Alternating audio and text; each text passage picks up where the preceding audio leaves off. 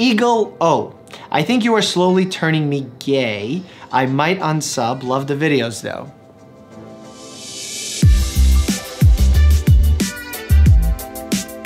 Hey guys, excited to jump back into the comment section. Let's see what you gave me this week. Fedora Miyaza. Dear Dr. Mike, what happens if I get struck by lightning? I think you get severely burned. A lightning strike because of electrical activity can also stop your heart, but I know people who have gotten struck by lightning, at least from the news, and survived. Never seen a patient get struck by lightning, but I think the odds are something like one in 4,000 that you can get struck by lightning need to look that up, I'll pop it up on screen in my edit. Should a doctor treat relatives or patients that they know? If yes, how would it affect their objectivity and judgment? It depends on the doctor, Ozan. Um, some doctors can still be objective in treating their friends and family. Not ideal, because again, you can make some bad decisions when treating your friends or family. In fact, my dad, whenever I was ill, even though he's a doctor, he would always take me to see another doctor because he would say like another set of eyes that's not biased, that doesn't see you every day, way, they can sort of catch things that maybe his eye won't catch. And I agree with that. Lois DeBoer. Career economics, sentence, farmer, judge stroke, burning, attribute, slam, intense, frankly. Truth be told, George Washington's pet puppy came at the light of the bookshelf on the TV stand who stood upon the wires, microphone, etc. Hope that answered your question. What was that? Karen Apollonese. Hey, Dr. Mike, you are awesome. Thank you.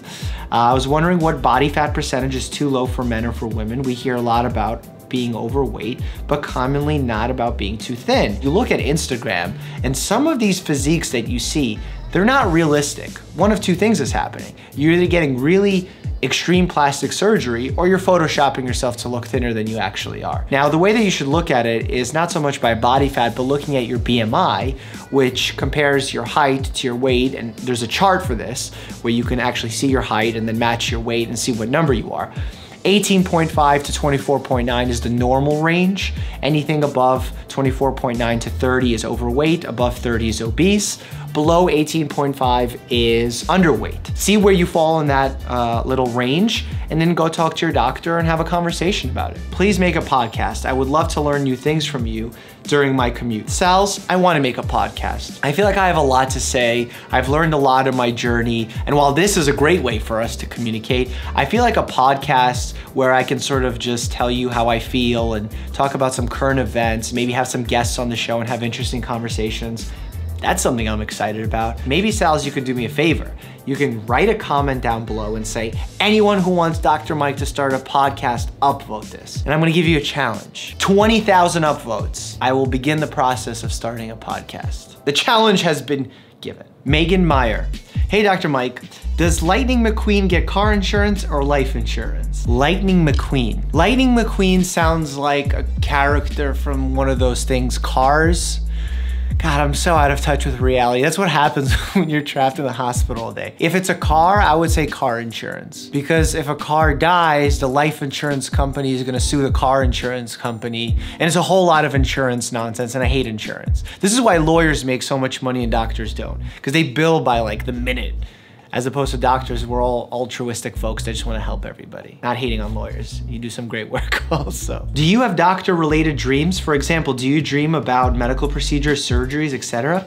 Actually, Allison, I've had some dreams like that and they were nightmares. Like I would go in uh, to inject a knee with steroids for someone who has really bad osteoarthritis. And when I would start uh, injecting the steroid, the knee just starts swelling like crazy and blood goes everywhere. And it was a legitimate nightmare that I had over and over again during my training. I have no idea why. HJK. Hi, Dr. Mike. What is the science behind being lactose and tolerant? I think you mean lactose intolerant, but I get it. I am lactose intolerant and I have been trying to drink milk more often to help get my body liking again. Can that actually work? Thank you. Not a good idea because your body is already saying that it doesn't like milk.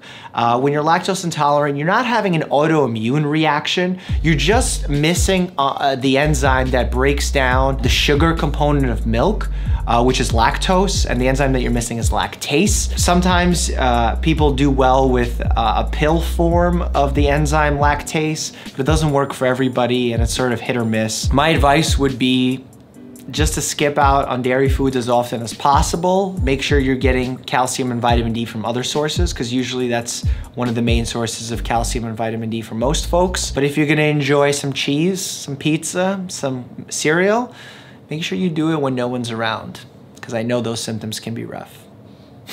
How do I tell my doctor I have depression? Because when I start to bring it up, I get anxiety and just back out. Well, Angela, this is sort of the doctor's job. They're supposed to make you feel comfortable. They're supposed to ask you some guided questions to allow you to express the way you feel without making you feel uncomfortable. That doesn't mean there's nothing to do on your part. You should still really work to make sure that your feelings come out honestly, openly, and truthfully.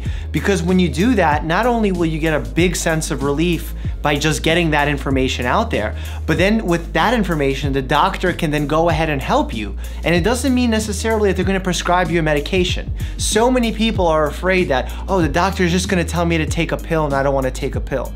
There are a lot of treatments for depression that are not just pharmacologic. Don't feel down, Angela. Stay confident, tell your doctor the truth, be honest and open, and reap the benefits of getting your treatment. Kelly Kawaguchi, does apple cider vinegar really have all the benefits that people claim? No, apple cider vinegar is not the next coming. Honestly, I blame uh, the media for this. Someone came up with some study that showed that in mice, there was a slight decrease uh, in uh, blood sugar levels in diabetic mice, and now they claim that apple cider vinegar cures all. It does not. I do need to do a little bit more research to find out exactly how it affects each condition, but I promise you it does not solve every problem, and you shouldn't use it as a cure-all for everything. In fact, I've seen some patients use it and actually have some stomach upset and have some other problems develop as a result of using it. Hey, Dr. Mike, how often should you shower for someone with eczema or dandruff? Well, cheese guy, guy, guy, one. If you have dandruff, using a shampoo that is specifically anti-dandruff shampoo is ideal. You could also use some natural oils like tea tree oil or manuka oil or coconut oil. I've seen some good results with that. If you shower very often, for someone who has eczema, you can overly dry out your skin and cause eczema symptoms to get worse. Also very important that when you're susceptible to eczema and you wanna dry yourself after the shower, don't rub your skin, just pat yourself dry so you don't irritate the skin any more than it needs to be. Hey, Dr. Mike, I'm curious, what is the most embarrassing moment of your life? Muniz, I've said this before and I'll say it again and it's sad, so get ready for a sad story. I was four years old and my brain had just turned on because I was making memories and I remember this. I was in pre-K and it was nap time and I pooped my pants a little bit and I had diarrhea.